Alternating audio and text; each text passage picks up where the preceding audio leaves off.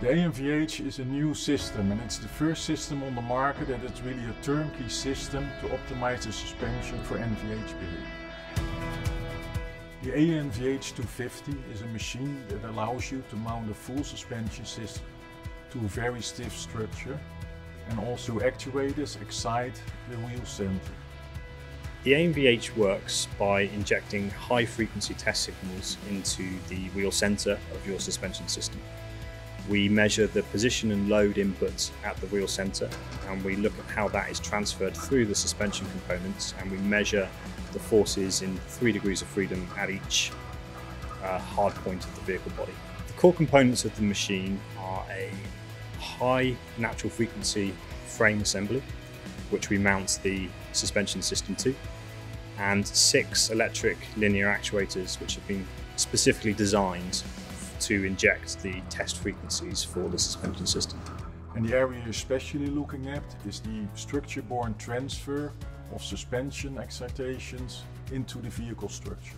So uh, forces generated either by uh, brakes, uh, road inputs or tire vibration modes into the vehicle body. Especially nowadays when we go to electric vehicle, there is all minimal noise coming from engine.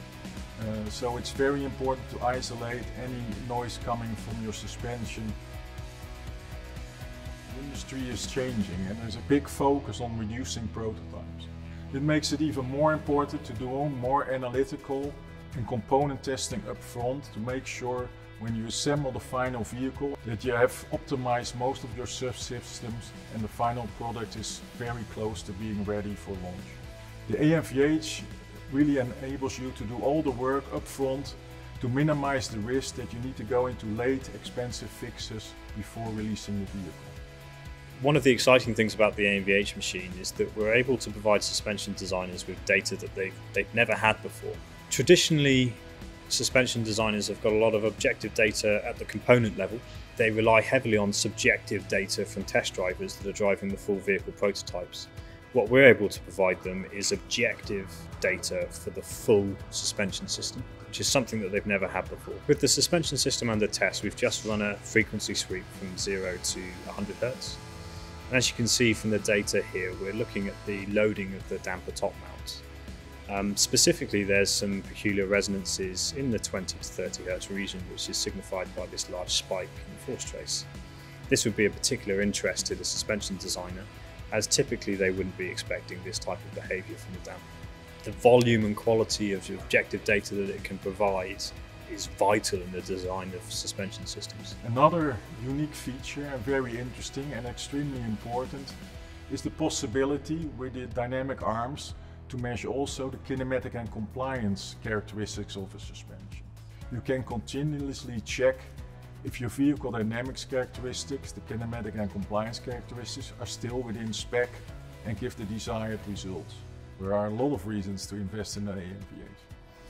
So one thing of course is the drive to, to reduce prototypes. So really this system again enables you to much, do much more upfront engineering and upfront optimization and of reducing prototypes and avoiding late fixes. Another reason is the cost of this machine is easily made up if you can avoid in your future vehicles one late fix like an hydro mount, you're already made up easily for the purchase of the machine. Now you buy a system from a well-known equipment manufacturer with a very good reputation already. For example, our SPMM, the kinematic and compliance measuring machine, is in all areas of the world and we have more than 35 machines in operation for more than 25 years. So the same design group designed this system. Again, fully electric, low maintenance and very robustly designed.